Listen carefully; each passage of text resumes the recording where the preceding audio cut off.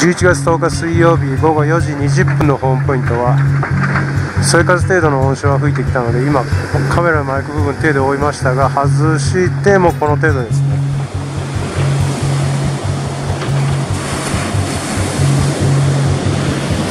ホームポイントの右今オフショアを感じますね。背後から。西うねりなので奥に右側の奥に向かってねりがいい感じでブレイクしてますね。ああ面もなかなか綺麗ですね。ああこれはでかい。腹胸ぐらいあるかな。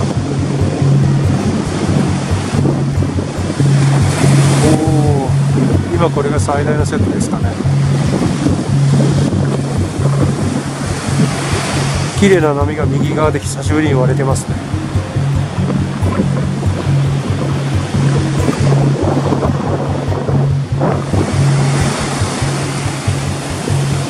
なんかこの大波が砂尾ビーチにどんどん押し上げた感じがしますね。おおここまで。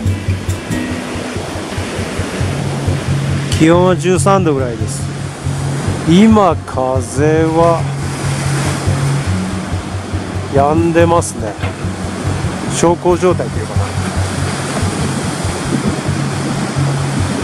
波のしぶきを見ると昭和のようですね。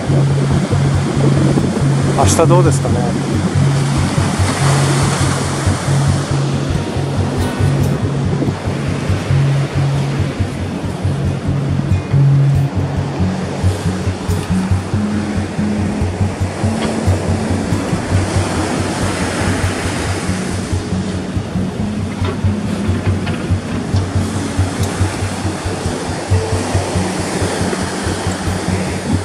今映画でマーベリックを見てきたばっかりなのでこれでも波がとても平和に見えますね。